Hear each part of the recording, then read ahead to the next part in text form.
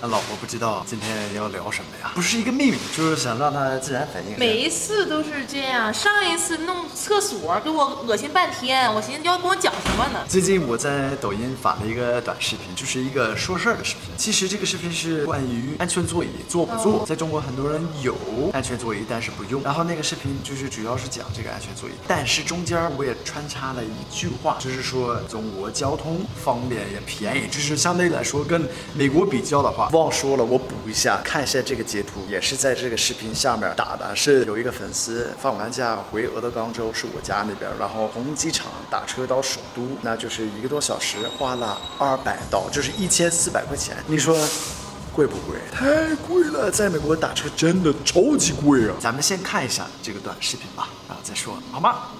这男人啊。就得听老婆的。当初我和俺老婆为了买不买车，从婚前争论到婚后，在俺老家没车就等于没腿，公交少得可怜，打车贵的都想哭。没车你就别想回家了。但这边呢就不一样了，交通太方便了，公交、地铁四通八达的，打车也很便宜啊。什么？咱觉得不便宜吗？跟俺那边比的话，我天哪，比俺那边见悬了。为什么要在这边买车？车贵，养车更贵啊，有钱烧的呀。而且听别的老外说，驾照考试太难了，愁的头发一把一把的掉。看看我本来就这样，真考了不得秃顶吗？但是难看看车买了，驾照也考了，霸气吧？老婆说了，老别买车的理由啊，说服我的只有一条，打车包还要你放心啊。老婆弟，要知道在国外，孩子不坐安全座椅是违法的，所以为了俺儿子的安全座椅，车买了。我的二手小凯翼，儿从出生就一直坐安全座椅，不怕一万就怕万一。咱家也用安全座椅吗？我不是问有没有，我是问用不用。结果呢，在这个视频的评论区发现了有一个人打了，我看一下，给你们念一下啊。我看了那个留言，太敏感了，现在我的天呐，说有点富拉夫的感觉。不要啊，铁蛋儿，我那么喜欢你啊，你去。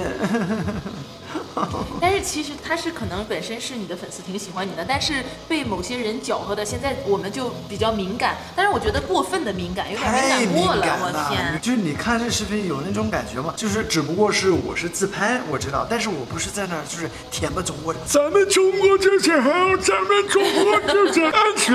中国的白开水都好喝。就是你知道现在某些人导致的哈，只要是一个外国人说中国好，就是不是说那种乱夸，就说中国好就不行了，你就是拍马屁。但是真的是交通太方便了呀！每一次我们回美国的时候哈，我在那边没有驾照嘛，我不能开车，我就感觉我就废了。我老公要是不在家，我就废了，想哪哪也去不了，简直真的就是这么回事儿。你这没有腿，你要是在美国没车的话，你就没有腿。对，而且是挺贵的。我也是挺敏感的，一有人说我像弗拉夫或者是八哥的话，可生气了，因为。前一段时间在 B 站，布拉夫八哥这一下就被黑了。其实我已经就很早很早在里面发现之前，太明显了。你你们看不出来吗？我觉得一般人是能看得出来，布拉夫和八哥是干什么的，就是太夸张了，太夸张，就是不是？其实我觉得他们的视频，但是我觉得其实他们的视频一开始啊是说好，但是没那么夸张。就是当留言特别好的时候，他们就越来越过了。现在就是有点迷失了。因为有很多中国人，说实话，就我个人的观点，我不知道。不知道你们是怎么看的？但是我觉得很多中国人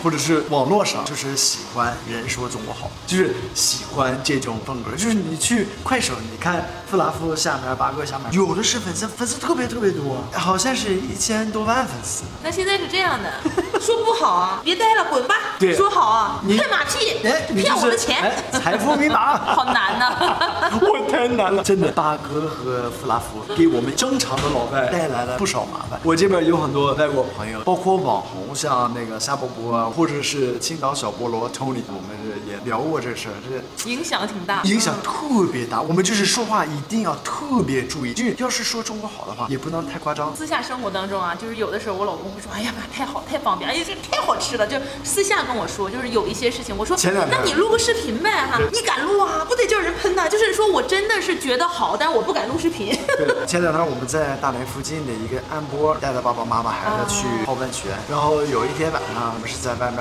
溜达溜达，然后我跟妍妍说了，我说，亏了，现在我在酒店，就是没回去，现在这个空水的太快了，太方便了，还能正常生活，什么怎么怎么的，就大概是三四周之前吧。当时他就是说，哎，快录个视频，我要发到网上了，要被喷了。私下敢说，就是好奇怪啊！你说不好的时候说也是说私下说，你录视频就去喷；你说好的时候也得偷偷说啊，好奇怪，就是很尴尬。所以我现在就是想跟你们沟通一下，就是千万不要把我们所有的老外跟他们俩比，或者是我们所有的美国人跟那个谁比较一下。两个人或者是一个人真的是不能代表我所有人，就一般人不是这样的。我们老外也是，其实这个也是另外一个视频。有很多老外来到中国是真的在本国可能是生活的不好，或者是反正各种问题。我们也是，就是我还有我周围的这些老外朋友，都觉得在中国其实交外国朋友比较难，因为有很多奇葩就是来到中国。我不是奇葩，我是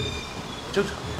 有的时候也挺奇葩的，也挺烦人。啊，我就是爱爱爱爱爱发飙，一定要注意的啊，交朋友有。有好有坏，真的。而且我们都是都是小市民，对吧？我们就代表自己的家庭，代表自己，别说大了，反正是。Yeah，我觉得我一般的粉丝都是喜欢，就是我们是比较实在、比较真实这样的，接地气儿，接地气儿的。卡唠唠的，你说的比我过了。还狠，也非常感谢你们的支持，我觉得是我们的荣幸。前两天我被采访了，就是说做网红怎么怎么，就是给你带来了什么收获。我说，其实大家看我们开心，大家看的快乐，我们真的是有很大的成就感。成就感是最重要的，就是有进步，有 growth，love it。So 我觉得非常感谢你们。我觉得这个应该开，我就想夸你两句。是吗？能夸吗那你你你先说吧，你你说。我真的，我觉得我老公是一个特别积极向上、乐观的人。我这个人有时候鸡蛋，脾气不是很好，有时候，但是他会给我往好的方向去引导。每一次出去，就是说，不管是身边的人呐、他就是喜欢让人高兴。就你看，有时候我们拍段子啊，他就是啊夸张啊怎么样，但是他生活当中就是喜欢让大家开心那样，就是这么个人。虽然有时候惹我生气哈，多数还是高兴的时候多一点儿。Thank you, baby, for saying that. I appreciate that. 其实我也想透露一下，就是我们这几天也是在准备拍一个互夸。我不想画。因为之前我们拍了三期吐槽这种视频，这是三期啊，我们应该出一个会。拍吐槽视频的时候，你天天啥事儿也不干，满脑子想，谁有什么毛病？有很多人留言啊，说这别拍了，再拍你俩要离婚了，真的有影响。你会天天想他有什么毛病，就是像吗？我没有。前两天我在家洗脚，因为我洗脚的时候有个特殊癖好，我老公就会拿着电话冲进来来偷拍我，啊，我拍了，拍是不是？对，我们还有一期那个就是天天在家抓小辫子那种感觉，不好不好，我说不拍了。一定要拍粉丝。我现在整的上厕所洗脚，我都得锁门。